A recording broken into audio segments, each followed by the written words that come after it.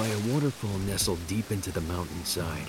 Sagat trains vigorously until he hears a noise coming from a nearby village. The young girl that Sagat has saved is gone. As he listens to the brother of the young girl plea for help, before Sagat's eyes, the very fabric of space and time warps, and a man suddenly appears before him.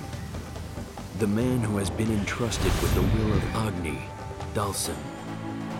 Sagat お主に頼みが tells Sagat about the missing children from his own village. It appears to both of them that someone is trying to gather the world's strongest warriors and use their power to open the mysterious box, known as Pandora. To save the children, Dhalsim and Sagat set out for the Antarctic, where the box is located.